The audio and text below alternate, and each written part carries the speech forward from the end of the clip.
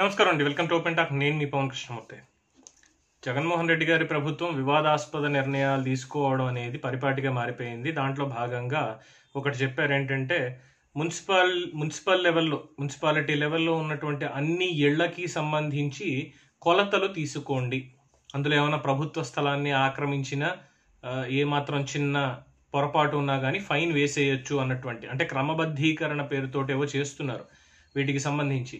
దానికి పబ్లిక్ నుంచి వచ్చేటువంటి రియాక్షన్ అయితే మాత్రం ఇంక వీళ్ళు తలకాయ ఎక్కడ పెట్టుకోవాలో తెలియనటువంటి పరిస్థితి. వెళ్ళి మేము మీ ఇల్లు కొలతలు తీసుకోవాలని అడిగితే చాలు హత్య చేయడం తప్ప మిగతా అన్నీ చేస్తున్నారు. అంటే వాళ్ళకి అంత కోపం వస్తుంది.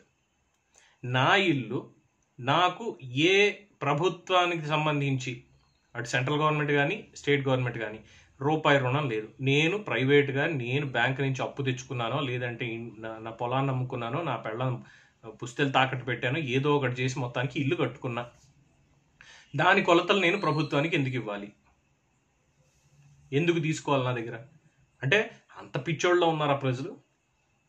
ఆల్రెడీ ప్లాన్ లేఅవుట్ అనేది ముందు గీసుకున్న తర్వాత మున్సిపల్ నుంచి అయ్యా మేము ఇక్కడ ఇలా ఇల్లు కట్టుకుంటున్నాం అని చెప్పి దాన్ని రిజిస్టర్ చేయించుకుంటాం. ఉంటాయిగా డాక్యుమెంట్స్. మళ్ళీ ఇప్పుడు వచ్చి కొలతలు తీసుకోండి అనడం ఏంటి?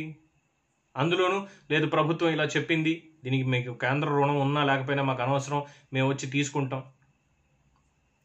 చూడండి పబ్లిక్ ఏమంటున్నారు అనేది ఒకసారి ఇక్కడ క్లియర్గా చూడండి. స్టేట్ గవర్నమెంట్ ఏ గవర్నమెంట్ ఇచ్చింది? మాకు ఇచ్చినప్పుడు సెంట్రల్ గవర్నమెంట్ హౌసింగ్ స్కీమ్ అది. చెప్పండి మీరు అనడం తప్పలేదు. నిన్న అక్కడ వాళ్ళు వసూలు చేయమన్నారు అది.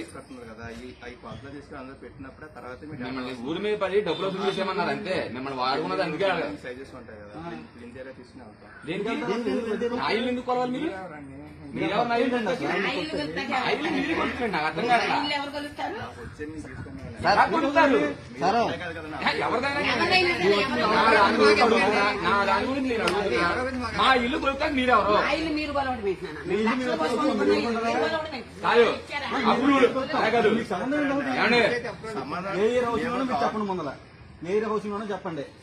స్టేట్ గవర్నమెంట్ ఇచ్చిందో సెంట్రల్ గవర్నమెంట్ ఇచ్చిందో చెప్పండి. మీరు ఎంత లోన్ ఇచ్చారో చెప్పండి. మీ దగ్గర ఉండాలి కదా. ఏదో ఎవడో పేరు పంపిస్తే మేము వచ్చేసామంటే ఎలా కుదురుద్ది? అవసరం ఉంటారు కదా. ఎవడో వచ్చి ఎవడో పేరు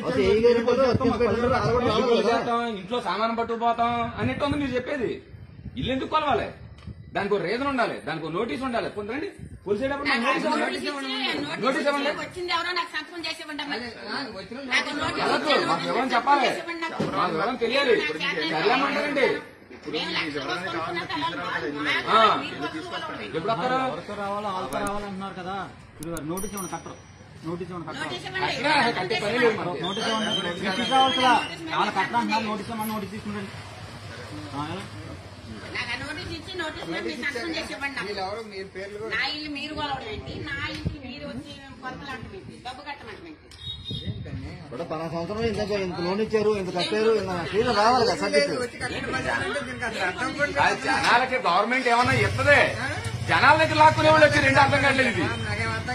ఇళ్ళలో దూరం పదివేలు అంట పదివేలు కానీ.